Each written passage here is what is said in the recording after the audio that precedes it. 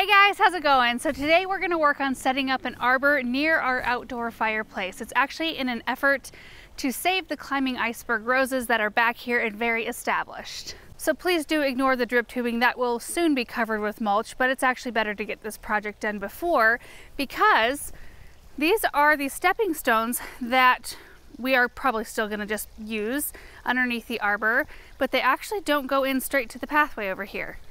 I don't know what's going on, but they kind of like curve and then end on the right hand side.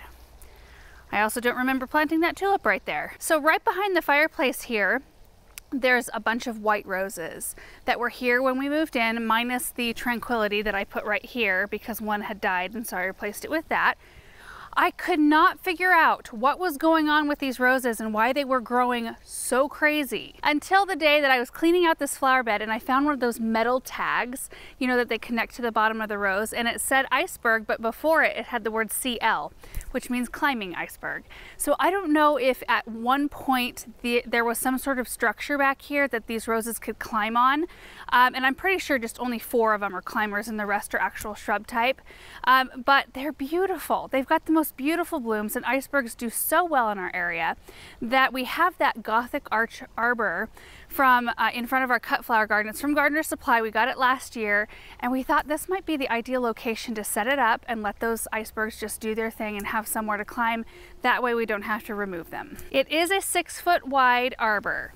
So it's gonna probably be right in here and then right in here, which means I'm gonna probably dig this iceberg out, which looks like I don't know, it's smaller than all the rest of them. And then we're gonna probably take this dogwood, it's a Venus dogwood, we'll save it, we'll plant it on the other property out front, but it never does well here. It gets just nailed by the sprinkler and gets hard water spots, and it's just been kind of sitting there, just semi-struggling, and I kind of want to give it a different spot anyway. Also, right to the left here, you can hear our new fountain running. I still haven't fixed the splatter problem, but I'm working on it. And look at all the hellebores. It is just such a beautiful beautiful area. I love it so much. I was excited to work in this area today. And I think by putting an arch here, especially one that's the length of this flower bed, it'll really give it a secret kind of, I don't know, magical feel, especially once it's covered in roses. So we've got all the pieces and parts here to the arbor in the back of the gator. I'm not really sure how this thing's gonna come together at all, um, but here are all the screws and such. I've really just got to lay stuff out, I think, and figure this thing out. Aaron's actually inside working on finishing up our recap video for this week, so he's going to come join me as soon as he's done. Uh, but I'm going to try to tackle whatever I can tackle here.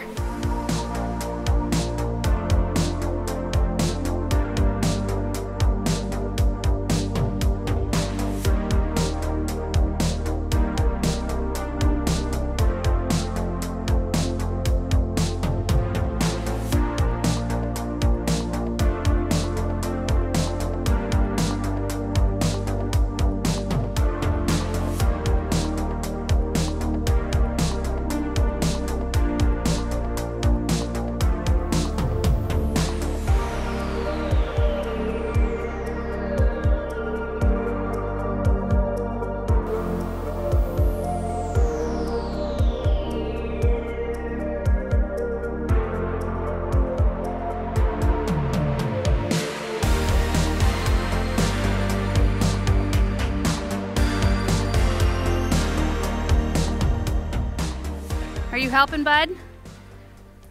It's gotta feel good to be out here bare feet. It's a nice day. Yeah, such a nice day. Um, so these look enormous. I'm not well, really sure. Just want to use two, and we could use this one somewhere else. Yeah, Like, possibly. have use all three together. but they look really wide, and maybe it's just because they're sitting out on the grass. But I think it'll still be perfect because if if they line up properly, I Mhm. still think it'll be. Well, we just give it a shot. I think we should put it in place and see what you think. I just don't want this to hit yet. Then, if we don't, can you get under that side? You're doing a great job, Mama. Oh, thanks, baby. Oh. Ooh. Watch out, Benjamin.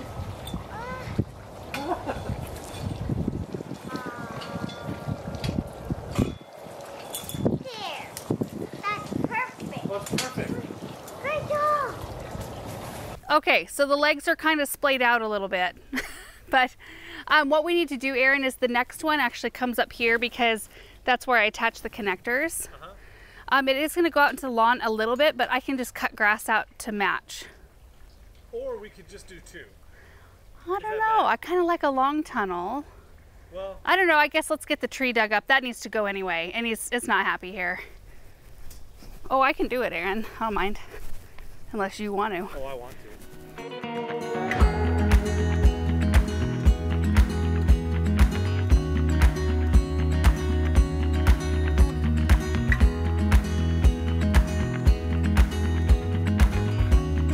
If any tree is not going to survive, it's going to be this one. don't do you, you don't you remember the root ball being way bigger? It was like one of those super big, heavy 20 gallon trees. Maybe that's why it wasn't doing well. Something's eating, eating its roots. Maybe. Crop failure. Crop, that's exactly right. Bingo.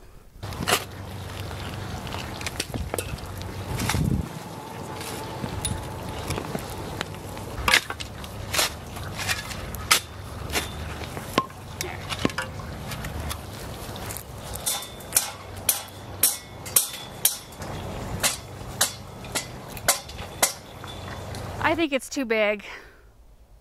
It's just, it's too wide for this spot. This is a three foot walkway. I was really hopeful that it would just like tuck in real, real uh, like easily. And it looks wonky because I only hand tightened the little bolts right there. Um, when you get it on its stakes, because it does come with, um, these are what you slide it down on. So there's one for each leg and you pound that into the ground and slide the thing down and then I would tighten up all of the um, bolts there so then it would be a nice shape. We probably have a picture from last year of what it was like yeah. in the vegetable yeah, garden. It's a beautiful arbor. That's why it kind of bums me out. But here's the problem. Like one, it's way too wide. And two, the third arbor falls right in the middle of this iceberg and we can't move it over because the whole point is to like start having things be more centered right. than they are now because I mean clearly we're just dealing with a lot of like walkways that do this and it, there's just a whole bunch of just random randomness. We didn't put those down, did we? No, I don't think so. I don't remember. So our efforts to save the iceberg climbers over here may not have worked. We're just gonna leave them though for now um, because I'll just prune on them and I can use the roses for um, arrangements and things like that. Here's the other uh, issue. I don't really want to have this massive arbor. Like it would work here and I think the icebergs get so thick that they would really make it a tighter, you'd almost need with icebergs a six foot wide mm arbor because they're so big. But when we put in the, gr the greenhouse, I want to redesign this whole area and I want to design it around the greenhouse, not around a massive arbor that's kind of sticking out into the grass because I would have to cut out like a foot of grass here on the left side of it. Um, so it's just not jiving. And then I decided, like, I wondered if I should even show this project, but I think that it's valuable in that this kind of thing happens. And while Aaron's like, well, you could have just measured, I'm just not that kind of person. I like to see things. I'm so visual that a measurement on the ground hardly ever translates for me. Like I have to see it, like prove it. you know, I have to like I have to prove it to myself that the arbor doesn't work. So thankfully it was super easy. I mean, it was out here for like an hour, so I probably wasted an hour and a half of my day, which is not that bad. Um, and we will take this apart and just have it in its nice little stacks. And then when we do have a spot, which we could use this, Aaron, on the new property, like along any pathway. Yeah. Yeah. I mean, we'll have ample opportunity out on the new property to use it. And we will go replant this dogwood. In fact, we'll go do that here in a second. I'll show you where I'm going to put it. And the rose that we dug out, we're just gonna give away to one of our friends. So anyway, the two plants that did come out of the ground will be replanted. So anyway, well, let's take this apart. You wanna help me with that? and um, then I'll go replant this tree. Back to square one here, kind of. There's a few benefits that I can see even though the project's gone awry. First off, the dogwood will be removed hopefully to somewhere where it's happier and not getting just nailed by sprinkler water. There was just no way around it. In order to get this kind of swoop over here, the sprinkler has to come this distance with how they're positioned at the moment. Um, the second benefit, we will go ahead and lift all the pavers now that this whole pathway has been cleared. And while we'll still probably use the same ones, we'll mulch the whole area so it'll all be nice and all these drip lines will be covered. And then we'll set them down again. We'll just relay them so that they are at least centered with the pathway. And the third benefit is that I now know how to put that arbor together because I wasn't the one who did it the first time and I didn't take it down either this last fall. So now when we decide where we want to put it, I will know how to do it and it'll go a lot faster than it did this time for me. So that's always kind of nice. Um, I'm gonna go grab my starter fertilizer and my compost and we're gonna go find a new location for our dogwood. We need some fertilizer and some compost, buddy. Oh, yeah. Oh yeah. Here's our fertilizer. I'll get that. What? Okay. I think the tree's gonna be okay. Are you gonna hold on to it so it doesn't fall out of the gator?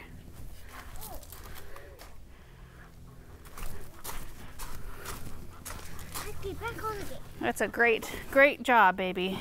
I like your tattoo. What is your tattoo of?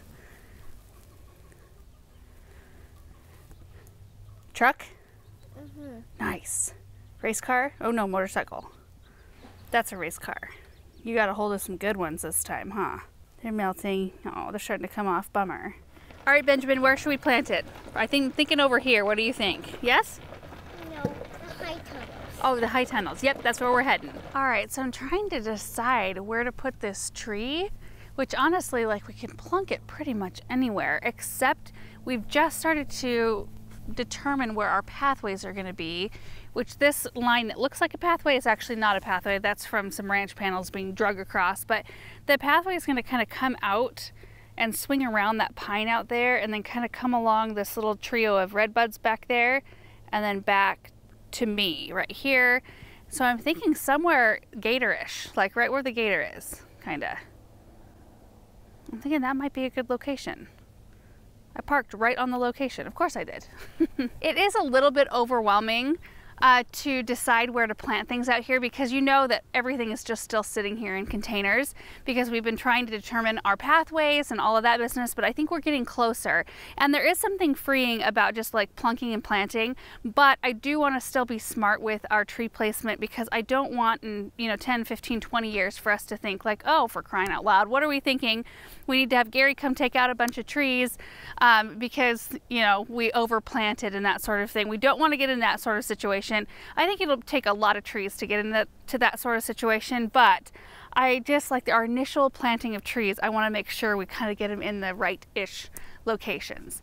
Um, but I think that this will be a good spot for this tree, I think. All right, you think this is a good spot right here? Yeah. You gonna help me dig the hole?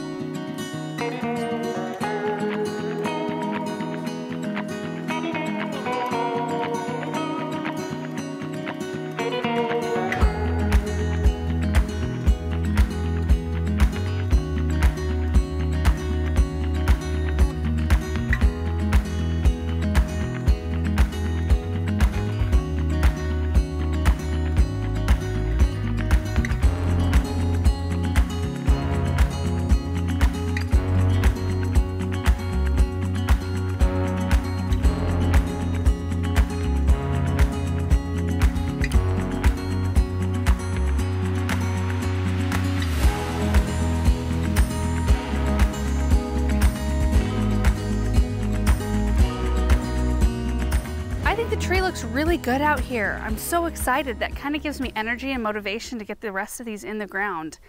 Um, you might notice too on the bottom of this trunk, I think it was either buried too deep or the mulch had like kind of just washed up around the trunk of this tree or it settled or something because you can see the dark up to about right there and maybe that was another reason why the tree wasn't doing as well.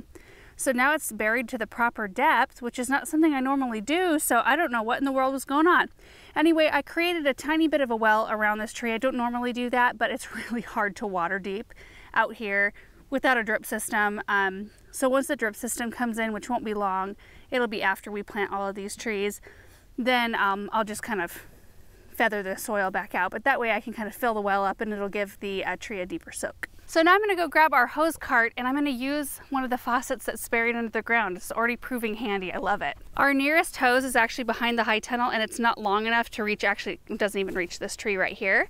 So we've got the hose cart and this right here. Got the faucet that's buried. how is there already a spider web under here? Like, how do they find this place? Anyway, this just rotates up and that's how we're gonna water.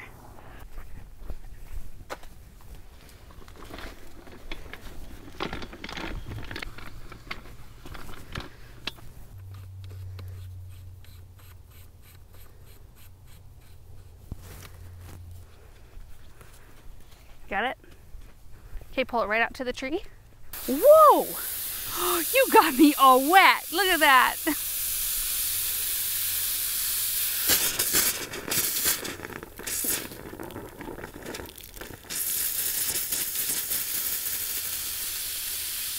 We're gonna fill up this well.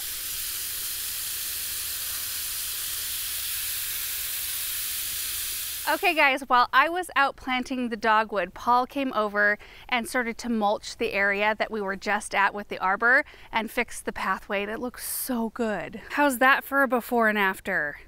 Oh my word. It looks so good when there's a nice fresh layer of mulch and I know that the drip irrigation's all working really well and that's the thing. So he's working this way. We like to run, like he ran all of this irrigation brand new this spring because it wasn't functioning very well last year.